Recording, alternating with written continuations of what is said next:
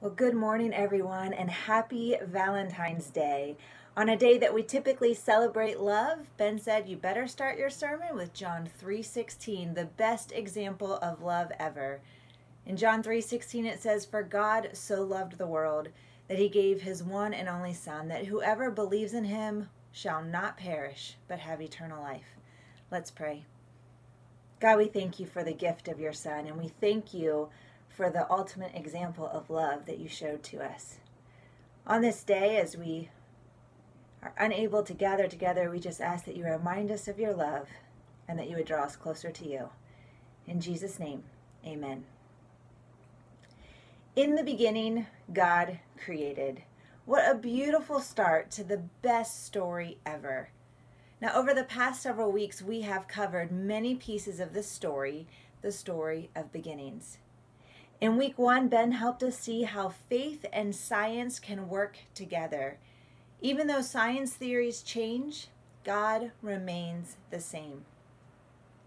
In week two, Ben started his sermon saying if he was a missionary in Africa for 20 years and one of you came to visit him and you brought him a runza, if that runza dropped in the mud, he would still pick that thing up and he would gobble it up because that runza would be so valuable to him. Ben emphasized that we are created in God's image, and so we are valuable to God. We are God's most prized possession. In the third week of our series, Ben and I talked together about marriage. We we preached about some practical things that people can do to maintain their marriage so that it can flourish. We talked about how we need to communicate, serve, forgive, and pray. And then at the end of January, we heard about the beauty and brokenness in sexuality. Ben used the example of a river and how a river has boundaries, while also emphasizing the importance of grace and forgiveness. And last week, once again, the snow meant we got to watch a YouTube video of Ben sermon, much like the snow and cold today is providing. Ben posed a really interesting idea last week of what Adam might have done in the Garden of Eden when he was instructed to tend the earth, because it was a perfect place without disease or decay. And so he talked about Adam's purpose. And he encouraged all of us to think about our purpose and our calling, which leads perfectly into today's message. Today's sermon could be boiled down to two key parts about God's nature in this story of creation. The first one is that God is creative. And the second thing is that God provides. So I want to read our scripture today from Genesis chapter 1, 20, verse 20 to 25. And if there's any children watching, today's sermon, man, I wrote it for you guys. So I hope you enjoy this. We have lots of fun stuff about animals today. So Genesis chapter 1, starting at verse 20.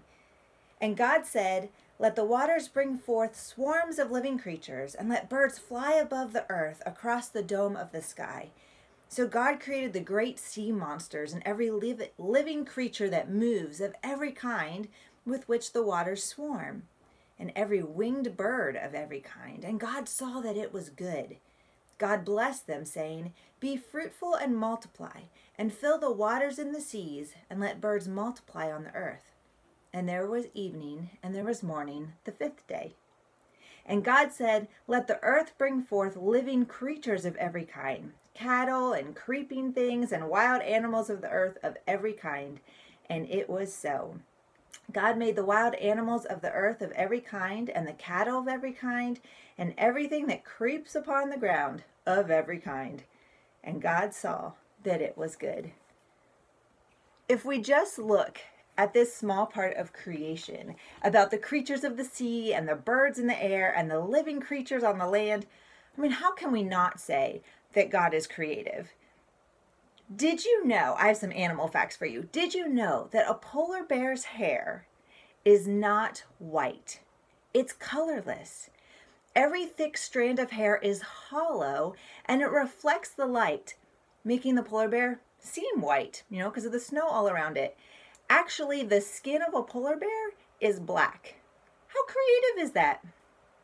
A giraffe has seven bones in its neck, which is the same amount that a human has. And yet my neck does not exactly look like a giraffe's neck because obviously those bones are much larger. This is really cool. If you ever look at a gorilla at their nose, they have all those like wrinkles on a nose. So those are called a nose print. And every single gorilla has a different pattern on their nose, kind of like how we have, you know, like a fingerprint, a thumbprint. That's how people who work with gorillas can tell them apart by their nose print. That's so creative. All right, how about hummingbirds? Who loves hummingbirds?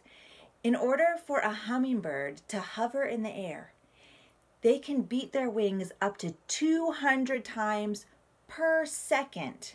Not per minute, like I thought, per second. That's crazy.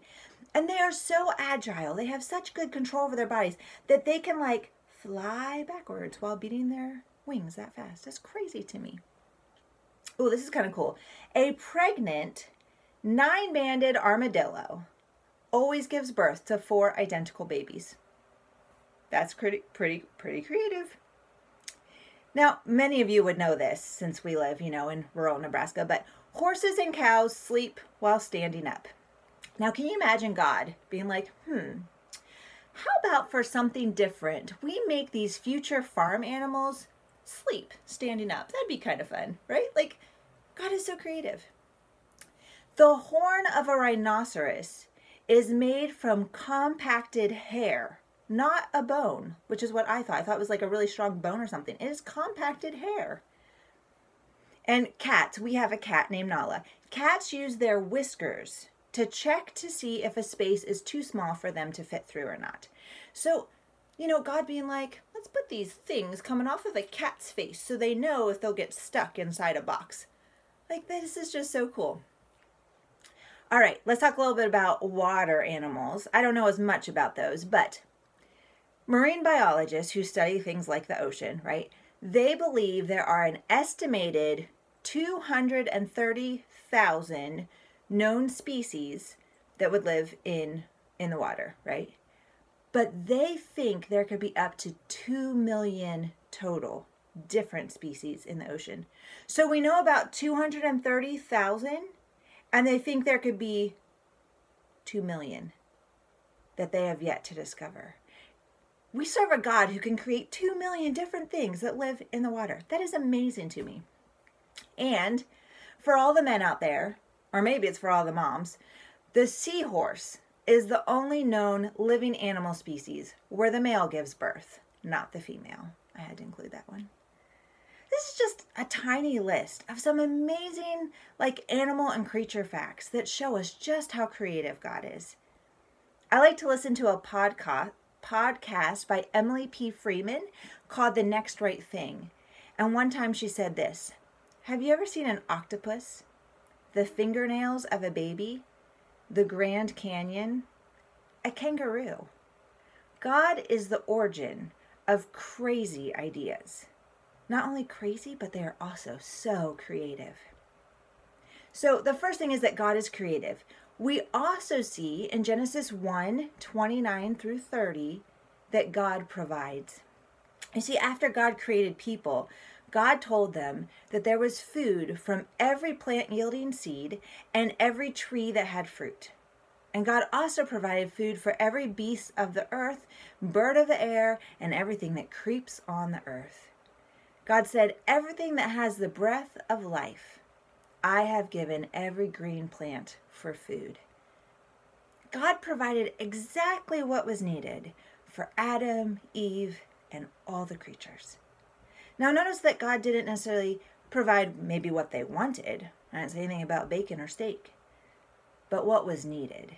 God provides what we need. You know, in the creation story, it is obvious that God is creative and that God provides, right? We just read it in scripture. But it gets better. In Genesis 1:27 it says, "So God created humankind in his image; in the image of God he created them." We are created in God's image. Ben talked about that several weeks ago. And because we're created in God's image, God wants us, me and you, to be creative, and to provide in this world. Our gifts and talents can be used for kingdom purposes. I saw this on Facebook the other day by the Skit guys, some funny guys who do comedy stuff, and they said, How cool is it that the same God who created mountains and oceans and galaxies looked at you and thought the world needed one of you too? The world needs you because God made you. You are creative and you are a provider. There is no one else in this world that has been placed where you are with your skills and talents and abilities and passions and heart. And with that, there is great power and great responsibility, especially when we fully claim that God wants to use us because we are created in God's image and we are to be creative people who can make an impact in this world. I want to share a story with you today a story of creativity and provision. And it is about an organization that started called the Cattle Project. In the summer of 2008, Howard Miami Mennonite Church, where Ben and I served in Kokomo, um, the youth group spent a week volunteering at a variety of locations in downtown Kokomo. You see, we had just flown to San Jose, California in 2007 for the Mennonite Church USA convention. And our youth group checking account was looking a little bit thin. It was pretty expensive to send a huge group on airplanes and pay for convention. And we wanted to do a week of service. We would do convention one year and a week of service the next year but I really didn't want it to be a financial burden to the church because of lots of fundraisers or to the parents because you know we had we had asked so much money from them the year before and so we decided to do an inexpect, inexpensive week of serving where we stayed at a church in Kokomo and then we served at a different local organization every day that week. Now, Howard Miami is a rural church. It looks a lot like Salem. It is surrounded by corn and bean fields. And the youth group kids are all like rural kids. Some of them farm kids, but mostly just like living out in the country, not city kids. During that week of service, I had youth make comments like, wow, I didn't even know this part of Kokomo existed because they were just used to going to the mall for shopping or to Walmart to buy groceries, not going into Kokomo. It was definitely an eye opening experience for all of us. Now, one of the locations where we served was Kokomo Urban Outreach. It's an organization that did a lot of things, including at that time they hosted a food pantry. Well, after working in the food pantry at Kokomo Urban Outreach, and seeing the lack of meat on the shelves, Alan Mast, one of our youth, came up with the idea to raise beef steers and donate the meat to Kokomo Urban Outreach. Now I have to tell you, Alan was 15 at the time. He had just finished his freshman year of high school. But Alan had worked for a church member on a small dairy farm, and he had raised maybe two or three cattle to sell the beef to family members. He did 4 H. Um, so Alan took what he knew and what he loved doing, and he wanted to use that to help others. His parents were not farmers. He did not live on a farm, but he had enjoyed that and he had learned along the way some things about raising animals. Now, it's definitely a really creative concept, right? For a youth group to raise cows and then donate the beef to hungry families. As his youth pastor, man, I really appreciated his idea and I knew it would never work. Like, this is not going to happen. Now, I love driving around in Nebraska. I haven't gone lots of places because of COVID, but even just driving to Hastings or to York, I love seeing lots of cattle out in the fields. That's not happening in Indiana, at least not in Kokomo, because it's more populated. And so fields are at a premium. And if you have a field, you are putting crops in it not animals. So it's the soybeans and the corn and the wheat. Raising animals is just not profitable. And so there's a few farmers that might have a couple animals on their farm, you know, to, to butcher, maybe sell a few, but not done widely. So Alan thought, you know, we can do this. And he was just positive that money would come pouring in in order to purchase cows and feed them. Okay, now as a youth pastor who just had to get a youth group of approximately, I mean, there are probably 40 of us, to fly to California from Indiana and pay for, I felt like fundraising was my full time job, not teaching kids about the Bible. And I thought, how in the world are we going to raise enough money to continue this kind of thing very long? I thought it would maybe last a year or two. Maybe we would buy a cow or two and then we would be done. Oh man, I am so happy to tell you I was completely wrong. Because there's something inspiring about a young person, well, any person, but especially a young person who wants to serve others. People want to be part of that vision and that dream and that plan. So, Alan contacted a church family that had an empty barn. He rallied the youth group together to fix up the building. They had to take out a basketball goal. They had to put in posts to put up fencing. And they had to nail a lot of boards to make sure it didn't rain in and, you know, get the feed all wet and hay wet and whatever. And the church started telling people about this project. And church members and community members began donating money and grain and hay.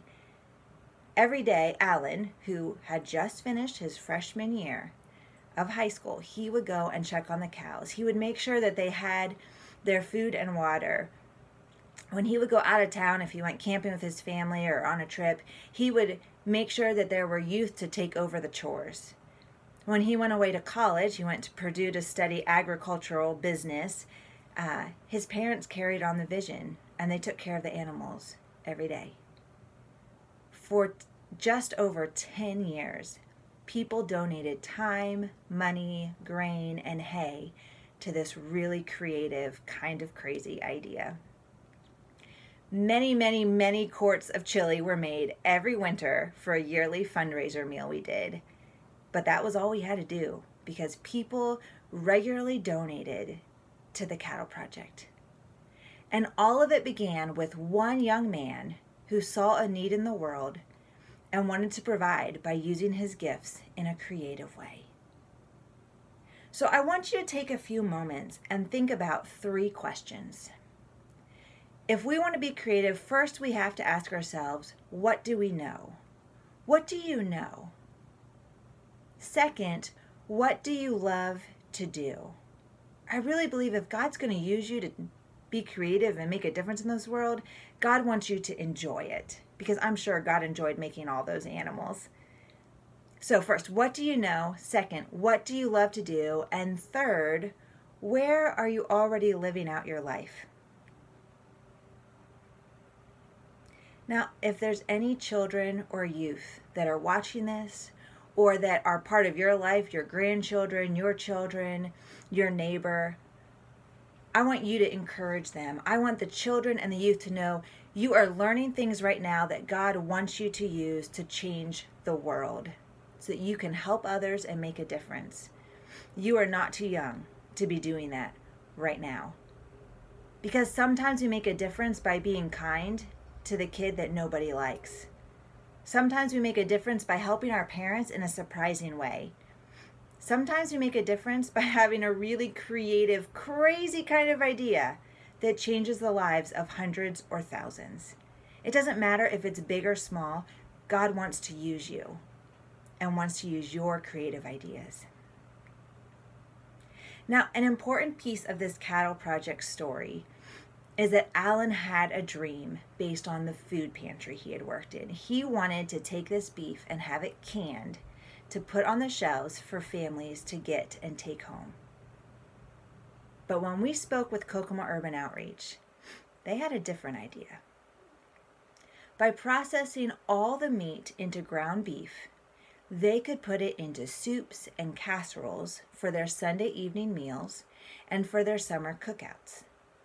They figured that the ground beef from one of Alan's cows, one of these cattle that our youth group was raising, it would be enough to feed 5,000 children, women, and men. Now, I don't know about you, but that sort of sounds like a story in the Bible I've heard before. Feeding 5,000? Now, Alan could have insisted on the meat being used the way he wanted it to be used. But when Kokomo Urban Outreach said stretching um, the meat for meals, especially meals where they were serving children, was the best way to use the meat, Alan was immediately on board.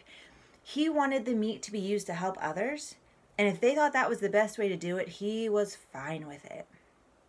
Now, I don't know about you, but there have been times in my life where I figure out how things should be and how they should go. You can just ask Ben.